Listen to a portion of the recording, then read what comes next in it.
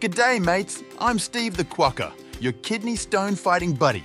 Today, I'm going to show you how to use the Stone Free AI app to stay stone free. The key to kidney stone prevention is to keep track of what you eat and know what's in your food. Boom! Just take a photo of your meal and Stone Free AI gets to work. It analyzes oxalates, sodium, calcium, and more. So you'll know right away if your lunch is kidney stone friendly or if it's a stone bomb in disguise. Forgot to log what you ate and want to add it later? No worries, mate. Just say, I had one grilled chicken breast, a bowl of spinach salad, and a glass of sweet tea. Hydration is everything, and this little water tracker, it's your new best mate. Track as you drink and keep those kidneys flowing like. Shopping? Just scan the label. We'll show you if that snack or food is safe or sketchy.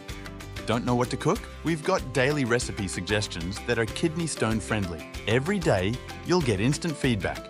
How you're doing, if you need to stop eating oxalates or sodium for the day because you've had too much. Use it for a few weeks and we'll show you monthly trends so you can see real progress.